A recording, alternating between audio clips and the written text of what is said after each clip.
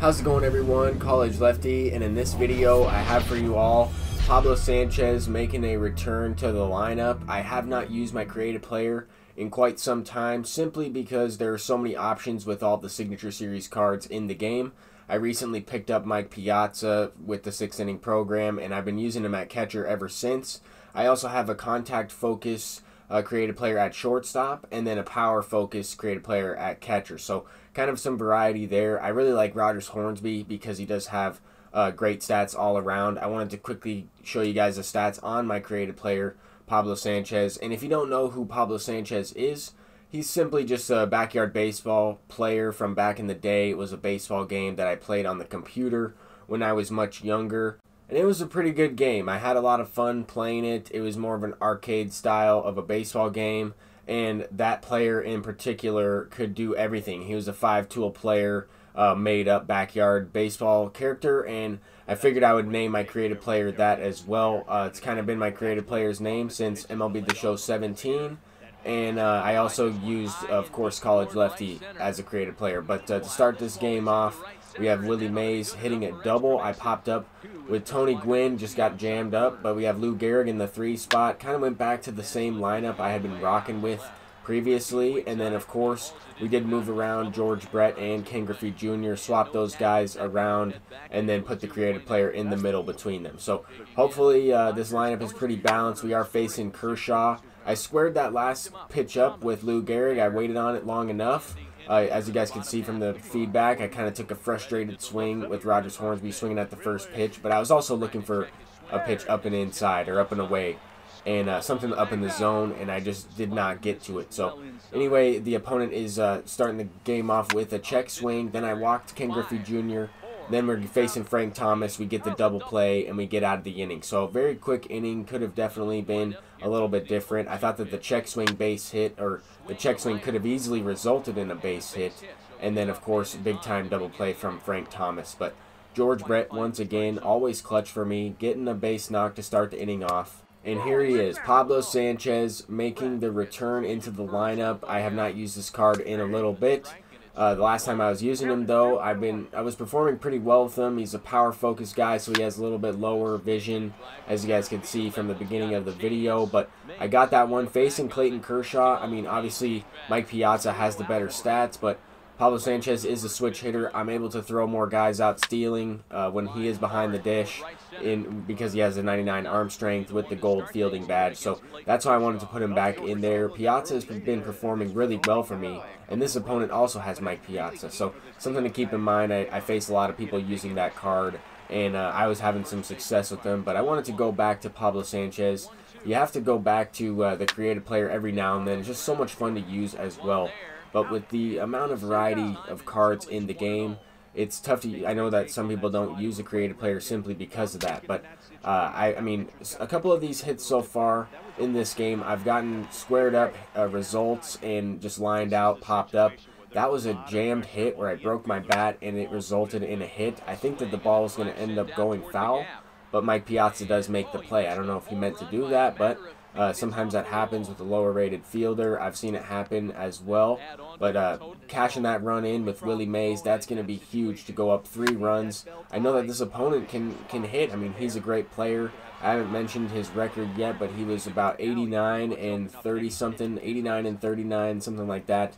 So he does win about uh, three games to every loss, right around there. That's always a good ratio to have in MLB The Show. That means that this guy is a consistent World Series player if he's able to play as many games, enough games to make it. But uh, with that ratio, you know that they're going to be a pretty good hitter. They're going to have some good at bats. And this guy was also a master of the check swing. I have no idea how he was able to get check swings literally almost every time. I mean, borderline pitches, pitches that were just off the plate and inside the zone. He was able to get check swings on and ended up costing him a couple at bats as well. I mean, he had a, couple opportunities that resulted in a check swing ball put in play, and I got the out on it. But uh, in this situation, he has a chance to tie the game up. I wanted to take you guys through the at bat of kind of some examples of what I was talking about.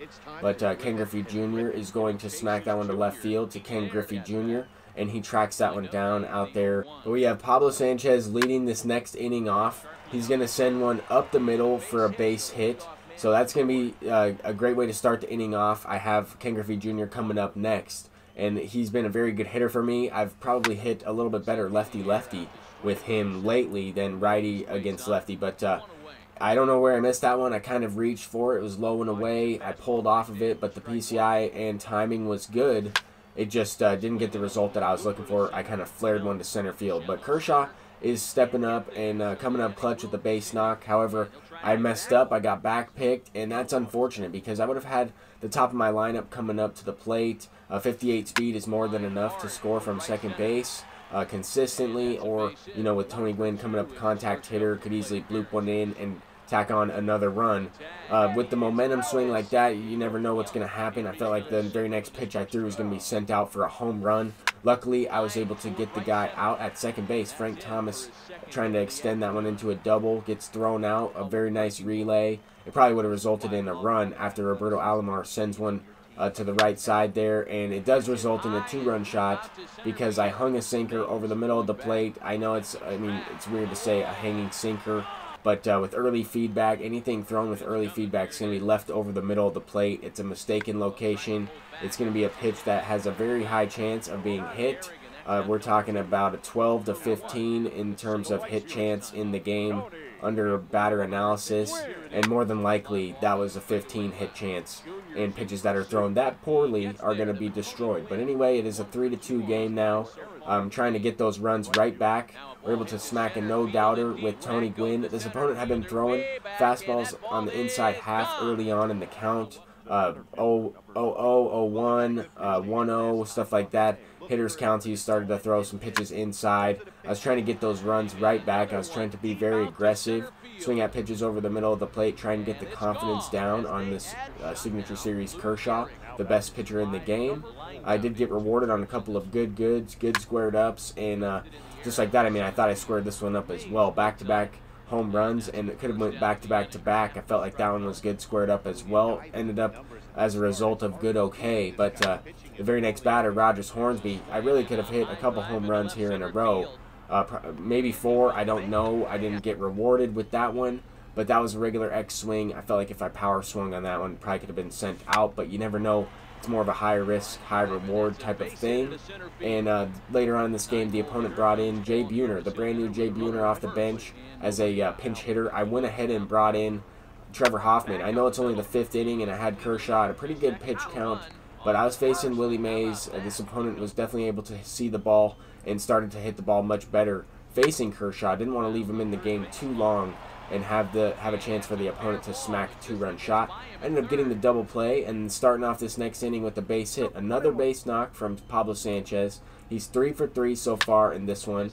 A squared up line out from Ken Griffey Jr. I knew as soon as I hit that one it was not going to have the distance, but I felt like I got it. I mean, it was a good, good right there off the bat.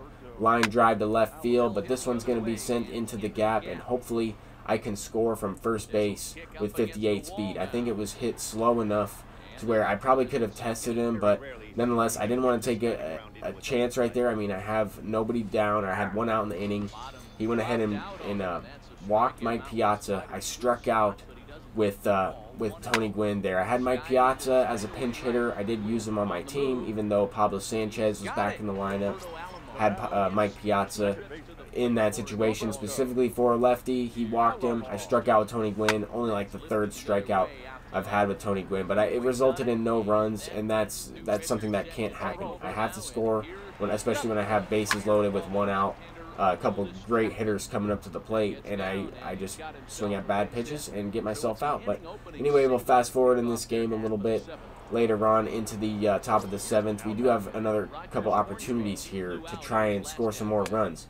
I'm trying to get something going here after he brought in Aroldis Chapman, brand new arm out of the bullpen. I'm trying to get his confidence down immediately. This card can get a little bit wild at times, so I'm waiting for the pitch over the middle of the plate something that he missed with early feedback as well, similar to how I did earlier in the game. But uh, Pablo Sanchez, his fourth hit of the ball game, sending one up the middle, another RBI, so he's cashing in a couple runs, and he has uh, four hits, including a, a two-run shot and that RBI single. If I would have let uh, George Brett, if I didn't get back picked earlier, could have had an opportunity to have another at bat with him. type of thing, cash in a couple more runs. But anyway, nonetheless, he has definitely stepped up in his return to the lineup. As the opponent smacks one out with Jason Giambi, that was his pinch hitter for his pitcher. He went ahead and uh, went to a couple different guys out of the bullpen here. I'm surprised that he went from uh, Kershaw to to Aroldis Chapman to Trevor Hoffman. Personally, I probably would have went with uh, Kershaw and then Trevor Hoffman, then bring in Aroldis Chapman. But this guy was also playing the matchups. I do have a few lefties in my lineup, a couple lefties, and even though it is balanced, I think towards the end of my lineup it's easier to pitch with a lefty. But uh, just didn't work out for him in this situation. Lou Gehrig smacking that one up the middle, trying to extend the rally here as we trying to get any extra insurance runs. Just makes it more difficult for the opponent to come back in the game. We're able to score almost every inning in this game, and a couple of the times when I didn't score, I did have an opportunity to to score a run. Like in that fourth inning, I had the bases loaded, one out, didn't take advantage. Then the only other time I haven't scored in this game yet was in the first inning, and I just didn't really get anything going at the plate. But uh, George Brett is coming up clutch. He's one of the best hitters in the game.